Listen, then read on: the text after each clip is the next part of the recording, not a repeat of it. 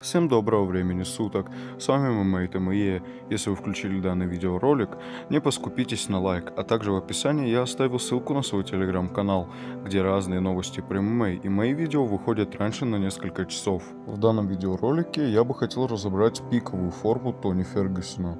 Тони Фергюсон – это кошмар для любого соперника. Родился в США, но есть и мексиканские корни, а там, как мы знаем, растят только жестких бойцов любого веса и пола. Разберем план на 5 раундов и на 3 раунда. Поехали! Первый раунд от Фергюсона всегда начинается разведочный. Он дает сопернику работать по себе и для сокращения дистанции использует маятник в стиле Майка Тайсона, чтобы соперник больше выдыхался, выкидывая, соответственно, больше ударов в попытках попасть по Тони. С самого начала раунда Фергюсон пятится к сетке или занимает центр октагона, попутно прессингуя соперника, выкидывая разные удары по типу push kick а или middle kick а и удар с руки, либо прямой переходящий в локоть, либо Тони бьет scorpion scorpion punch. Фергюсон умело сокращать дистанцию тем же самым маятником. Или если ему нужно с дистанции перевести соперника на canvas, он использует Imanari roll. Обычно после Imanari roll а Фергюсон захватывает ногу соперника и находится с ним в позиции 50 на 50, как в случае с Эдсоном Барбозой.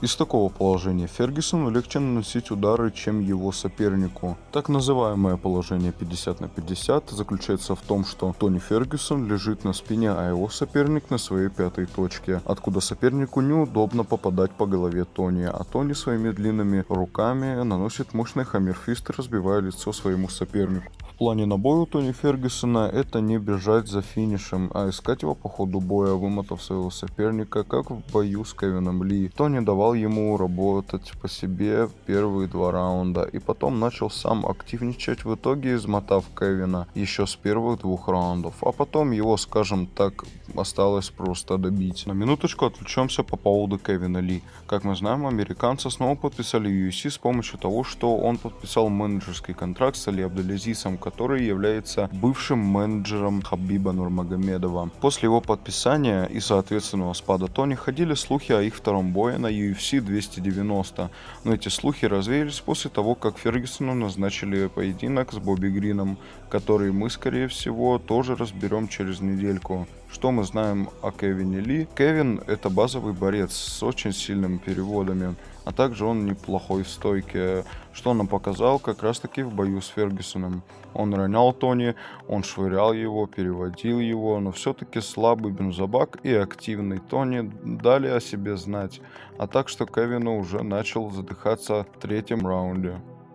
Опасность Тони Фергюсона заключается в его нестандартности. Это включает в себя его изюминку, эти нестандартные удары локтями, работа в партере, работа со стойки, нестандартные переводы, а также разнообразные удары с клинча и разнообразные удары ногами. Излюбленные удары Тони – это подсечка, которую он нам продемонстрировал в бою с Джастином Гейджи.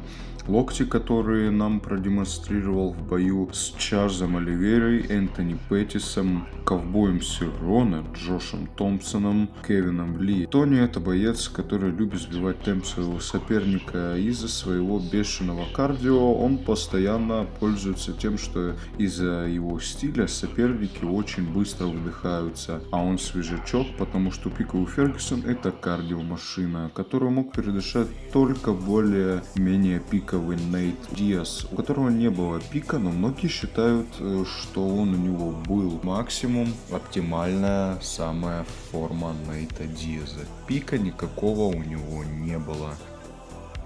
Ну а на этом все. Хотел бы вас поблагодарить за просмотр данного видеоролика.